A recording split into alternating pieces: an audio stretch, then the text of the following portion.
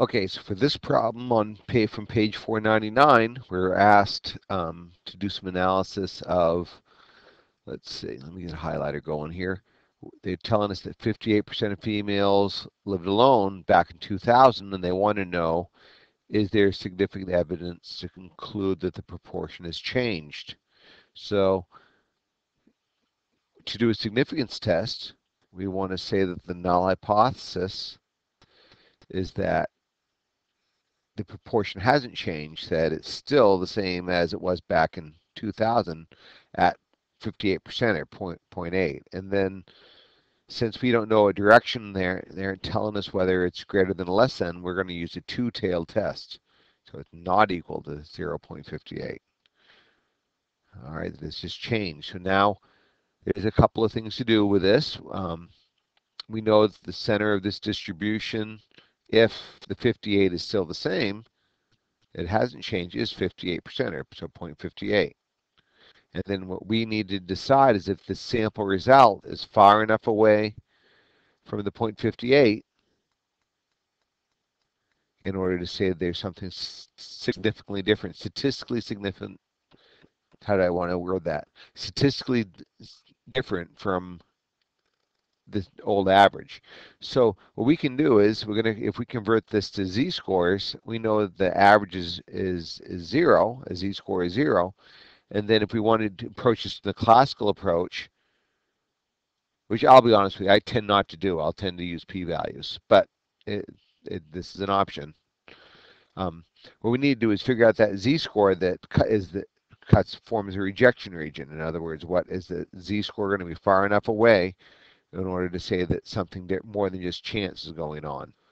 So we need to decide on that z-score. Um, so they're telling me to use a level of significance of a 0.1 level of significance, and it's two-tailed. Because so what I'm going to do is I can go to that table five in the textbook, and if you scroll down to the bottom of it, Dr. Sullivan's give us a little little cheat subsection of it. We're going to look at the level, the 0.1 level of significance, and we want a two-tailed. So we're going to look at 1.645. Uh, can I can I grab this? So uh, what we're doing is we're looking at that 1% level of significance that I was just saying or 10% level of significance at 0.1, and we want a two-tailed test. So this is the critical value of z. In other words, that's the borderline, that's the fence that we got to get past. So if we go back to my uh, to that drawing I made, if that z-score is as low as or lower than negative 1.645 or higher than positive 1.645, then we can reject HO. That's a 4.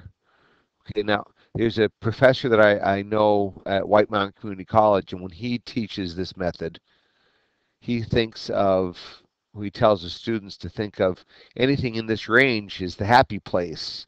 And that means that the null hypothesis is true and that the average is, is can't, you can't, you can't say that's any different than the 58%. And as soon as you get out here in these tail areas, Okay, that's the rejection region, the unhappy place. The null hypothesis isn't true anymore, okay? So now we've got to get a z-score. So if we're going to do this by hand, what we can do is we can say, well, I know that there were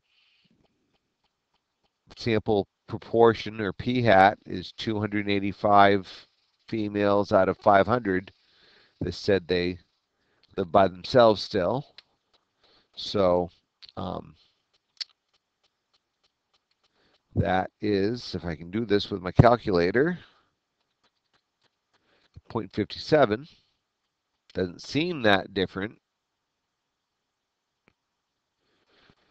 So now we'll do a z-score. So the p hat is 0.57. Compare that to the what we think is the population average of 0.58. And then we're going to divide that by the standard deviation for this distribution. And you always use your population numbers to because that's what you're saying is is the basis that's the sampling distribution right let's see 1 minus 0.58 is 0.42 if I'm doing my arithmetic right and we're going to divide that by what 500 so if we do all that math